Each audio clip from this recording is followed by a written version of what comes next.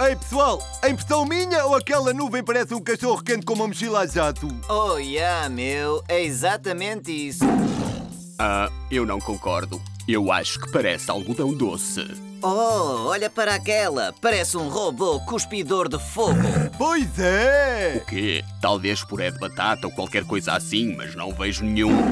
Uau, tens razão, tigre. Aquela nuvem parece mesmo um tubarão com asas de anjo. Tubarão com asas de anjo? No máximo parecem pipocas fofinhas. Talvez tenhas de usar um pouco mais a imaginação, Mr. Gus. Não precisas de imaginação para aquela que parece exatamente uma nave espacial a brincar com um O ioiô. quê? Não é possível que estejas a ver isso. Parece que nem todos temos o dom da contemplação. Lamento, mano. Pessoal, vejam aquela! Parece uma aranha com capacete de picos. Uau!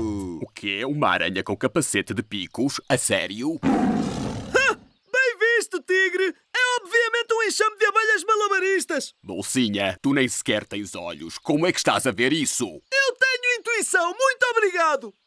Já chega! O dom da contemplação. Não vou fazer figura de parvo por causa deles, a fingir que vejo umas nuvens ridículas que não parecem coisa nenhuma. Eu diria que não passam de cúmulos palermos. cúmulos palermos, esta foi boa. A quem estás a chamar nuvens ridículas?